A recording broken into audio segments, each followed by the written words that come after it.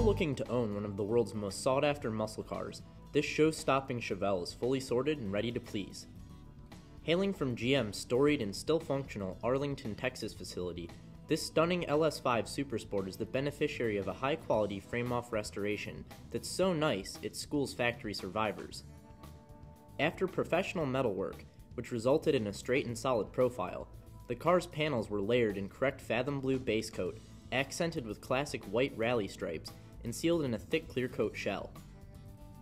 Once that clear coat was allotted sufficient drying time, its surfaces were sanded and buffed into a ripple-free finish that's literally as smooth as glass. And today, this top dog Chevelle sits as a spectacular piece of iconic American muscle that's detailed to better than new standards. Rolling out of the factory with an impressive 360 horsepower and massive 500 pound-feet of torque, this Chevelle's correct LS5 454 is fully rebuilt and ready for show. At the top of the big engine, a functional cowl induction system forces wind into a single snorkel air cleaner that's propped on a familiar Rochester 4 barrel. At the sides of that carb, mirror-like valve covers loom new Packard TVR suppression wires above correct heads and fully restored exhaust manifolds. At the back of those manifolds, a traditional points distributor stands beside a new wiper motor and a fresh power brake booster. Opposite that brake booster, a shrouded radiator sends water past a correct Frigidaire compressor via new GM hoses and reproduction tower clamps.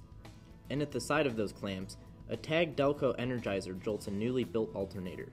Featuring a host of new components, and decked in what is arguably one of the coolest colors offered for the 1970 model year, this Chevelle's correctly restored GM Code 762 medium blue interior is both inviting and unique. Its slick bucket and bench combo, which used to be strictly bench, is firm to the touch and shows no signs of wear at all. In front of those seats, a straight and crack-free dash hangs deluxe Chevelle gauges behind factory AC controls and a correct Delco radio. And in front of the driver, a reproduction GM rally wheel utilizes a tilting factory column to keep everything positioned straight.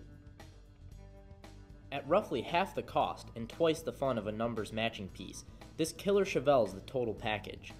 If you're ready to add some fresh firepower to your automotive arsenal, call, click, or visit rkmotorcharlotte.com.